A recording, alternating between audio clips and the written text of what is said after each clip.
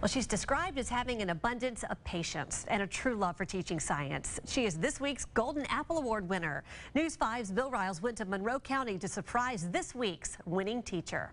We went to Uriah and J.U. Blacksher School to meet science teacher Kathy Black, who was right in the middle of her lesson on ionic bonding. You know you're a Golden Apple Award winner.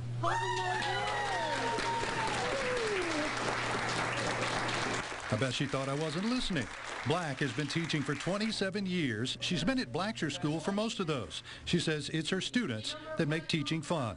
Uh, these children, I, I, really do. I love these children. They're very special. Um, it's a challenge, and they are. Um, it's just a joy to see their progress and their learning. And uh, Black says the hardest part of her job, paperwork, but by far the easiest, getting up before the class each day and knowing that most of her students are getting it, especially when it comes to science, not the easiest of subjects. And, and them learning by their teaching each other and their learning is mm-hmm.